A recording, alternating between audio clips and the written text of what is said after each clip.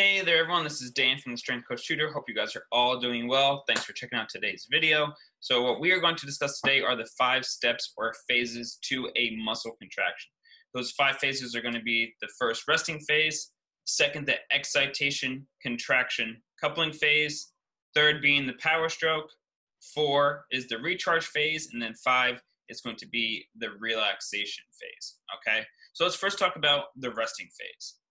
So resting phase, let's use the example where we're going to be doing a bicep curl. All right. So the resting phase, you know, let's just say I'm holding the weights, but they're down by my sides. Um, the dumbbells are down by my hips and legs, and I haven't started to contract my biceps yet. Right. There's no joint movement going on whatsoever. I'm not contracting my muscles uh, to any degree. So what's actually happening here um, is that there's very little calcium present within the muscle, and we're going to talk about that. The calcium is still going to be stored within the sarcoplasmic reticulum, and there's very little, if any, cross bridging between actin and myosin. Okay, so that's all within that first phase, the resting phase. Once we get a nerve impulse, right, to tell the muscle, hey, let's contract, we're going to create some force here, we're going to get into that excitation, contraction, coupling phase.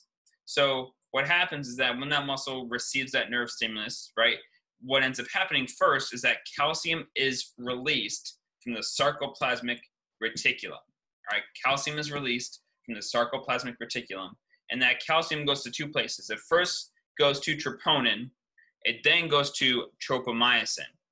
Troponin and tropomyosin, those are both components or parts, if you will, of an actin filament. So you can think of all of this calcium bonding on to tropin, troponin and tropomyosin, which are parts of actin. So in essence, this calcium is binding onto actin, okay? And so it just happens to be, just the way our bodies are designed, that these myosin heads have a very high affinity or very high attraction to calcium. And where did that calcium just go? It just went to actin, right? It just went to troponin and tropomyosin. So naturally now those myosin heads are going to latch onto troponin and tropomyosin, right? They're going to get that coupling. If you can picture when two uh, train cars connect, they create this coupling together. So that way when one pulls, it takes the other along with it. All right. So that's what's going on there. Those myosin heads are going to latch on and couple. So that way, eventually, when we get to this next phase here, when they want those myosin heads flex or pull, it's going to pull actin along with it, and we can eventually create some force here, a concentric muscle contraction, if you will. Getting a little bit ahead of myself there. So, but with the excitation, excitation, contraction, coupling phase, excuse me, calcium is released from the sarcoplasmic reticulum, and that calcium goes to troponin and tropomyosin, which are parts of actin, and those myosin heads have a very high affinity for actin, so therefore those myosin heads couple and latch onto actin or in essence troponin and tropomyosin. All right, that is the excitation contraction coupling phase. That's step number two. Step number three is going to be the power stroke. So the power stroke is when those myosin heads flex or pull on that actin filament once we've uh, released, uh, or I should say broken down ATP, right? So ATP has to go through hydrolysis, right? And when it does that, we end up getting that release of energy.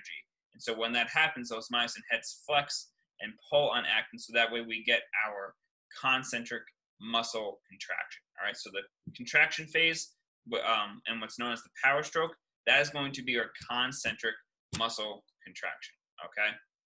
Now, this fourth phase is the recharge phase. I like to think of this as the eccentric muscle contraction. Um, so basically, everything kind of resets, if you will. Calcium is still present. There's obviously still uh, binding between actin and myosin, but those myosin heads are going to relax, if you will, and they're going to go back to that starting position. Okay.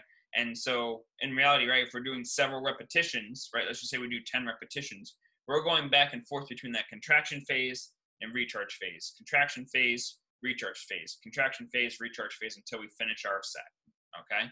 So once we finished our set, so to speak, our set of bicep curls in this example, we are then going to go into the relaxation phase. This is where calcium is shuttled back into the sarcoplasmic reticulum. So, uh, so calcium floating, if you will, throughout the muscle is going to be uh, significantly decreased, and those myosin heads are going to detach themselves from actin, detach themselves from actin. I'm sorry, uh, from troponin and tropomyosin, right? Because there's no attraction there left for those myosin heads, right? Calcium's gone, so myosin heads are going to let go.